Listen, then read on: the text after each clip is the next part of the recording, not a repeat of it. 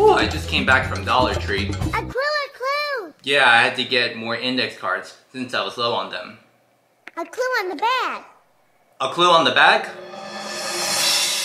Yeah, I see it. There is a clue on this bag.